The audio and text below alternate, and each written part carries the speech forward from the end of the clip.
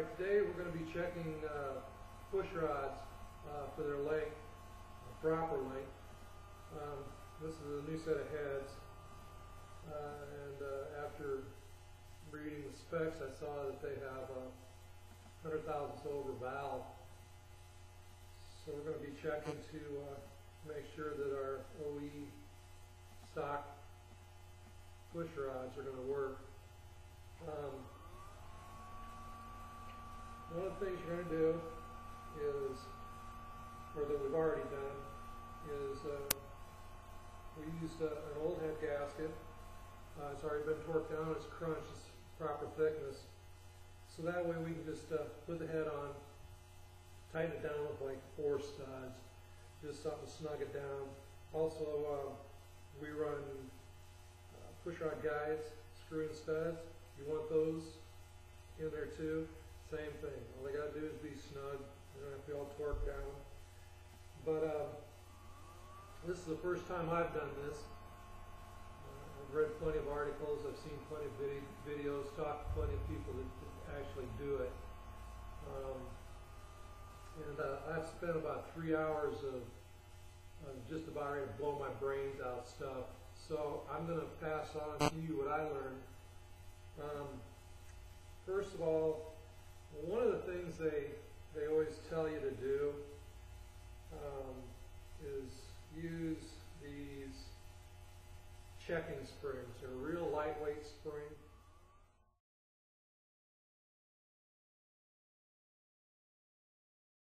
Um, they say if you don't, it'll it'll uh, bend your checker.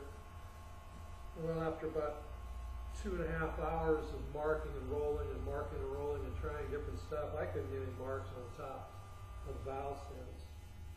Um, so I decided just to finally screw it and uh, go over to one of my actual valves with my actual springs on it that we use in the race car and open this up and take a chance and uh, I, I found it doesn't bend it at all. Um, do what you want to do. I'm not an engine builder, and, you know, if something happens, don't call me because I don't want to hear it, but I'm just passing it on. Anyway, this is a really slick, slick checker. Uh, I looked at, at some of them. Uh, the plastic ones, uh, way too much math for me. They're just just too much area for screwing up. Um, the other ones split and have a, a lock nut on both sides, um, you have to measure them with caliper. So for starters, you got to have a, a, caliper that's that's over seven inches. Um, and for like a couple bucks more, you can get these from Comp Cams. Uh, you order them in a, in a, certain length, like this is a 7.8, which is basically the uh, length of small block Chevy push rod. Um, but what's neat is some marks. Every revolution is 50 thousandths. So once you're done, you know that you're 100 thousandths over. Now something I, I, I, learned too is different companies uh, measure push rods in different ways. Some measure from the actual end of the hole to the hole. Some measure from basically what would be the theoretical radius. Um, so the easiest way for me anyway is just just stick with the comp cam push rods. Um, we've used their Magnum rods before, and, and, and they're an excellent rod. And, uh, they're very price comparable. In fact, they're, they're cheaper than a lot of other rods, push rods. So anyway, uh, what you do now, if you don't use guides, push rod guides like we do, you can just slip this right down in the head, stick it down the lifter. Um, but because of the knurls, you can't really get it to down through there. So it's just easier to unscrew it, feed it up through. And what's neat is this thing's machined so that when you screw it back together, the, the lines match up. You don't have to keep taking it apart and trying to get it where it belongs. So anyway, we determined that our push rods for these heads have to be a hundred thousandths. So, I'm just gonna go ahead. There's one turn, there's two turns. Just ease it down into the lifter.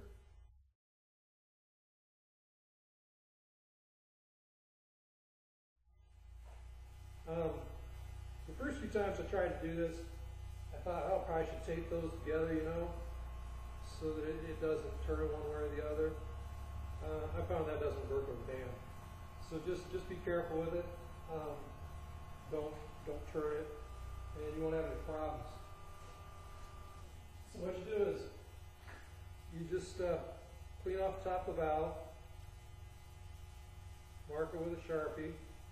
Um, something else I learned while doing this is make your marks go from the intake to the exhaust side this way because your lifter is going to be wearing it the opposite way. And you know if you across it it's kind of hard to tell what are your strokes from your marker and which which are the strokes from your uh, roller rocker. Okay Next thing you want to do is you want to make sure that the cam is on the base, or you know, it's it's on the base the cam.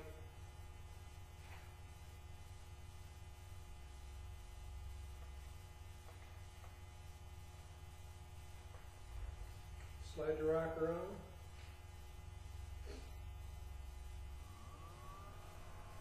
Screw the poly lock down.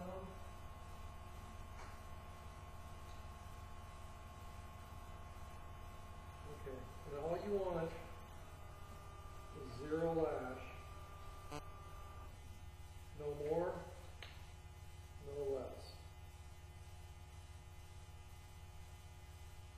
And Lock it down. And since we're poor white trash here, we'll do it by hand. I've done this so much today that I'm about sick of this. But what you want to do is rotate the engine, basically you want to open the valve so that it rolls on the top of the valve. Um, I found that opening the valve eight times does about the best. It um, leaves a good mark. Uh, less than that doesn't seem to always leave a good mark, and more than that, if you're doing it by hand, just flat wears your ass out. So anyway, we'll take a short break.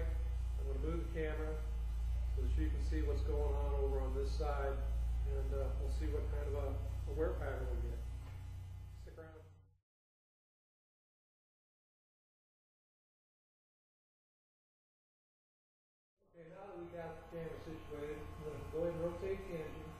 Like I said, we're going to open the valve, use the rockers, then go down.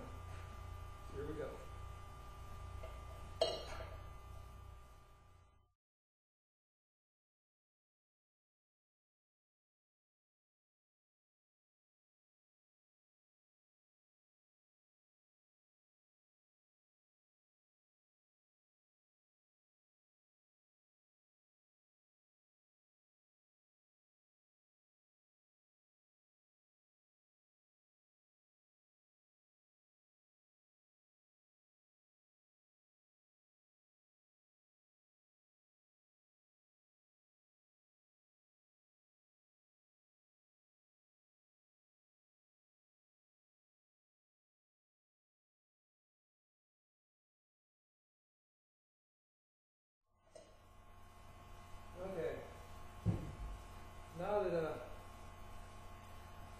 Cam back on the base, or you know, the lifter back on the base, just going to crack the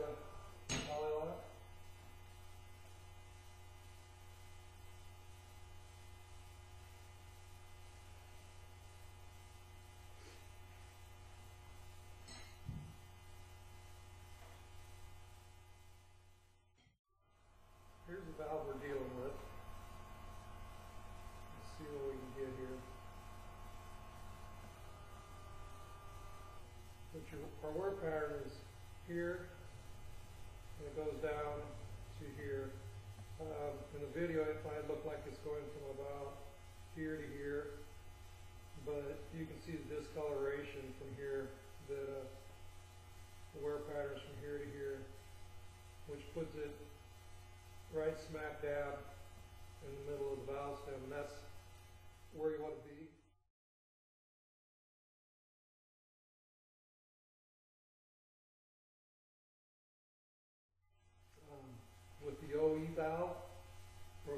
Push rod, we were basically running from about this point to about here.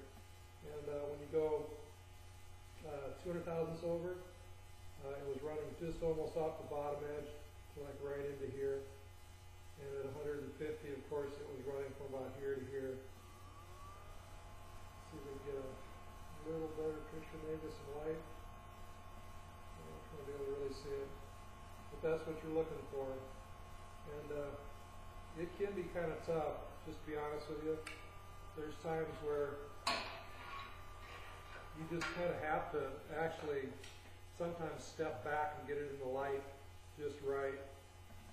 Um, but that's all there is to it. So now we know that we've got to uh, order some push rods that are 100 thousandths over. You do the same thing for the exhaust.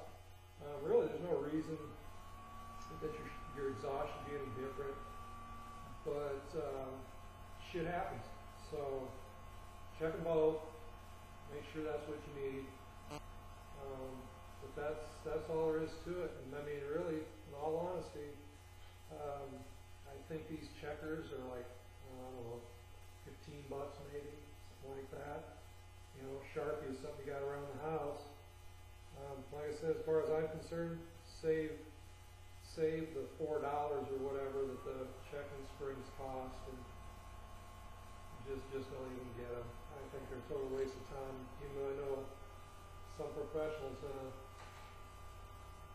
send me an email telling me I'm full of crap, but maybe so. But anyway, so that's it. Uh, I'm gonna get some push rods ordered.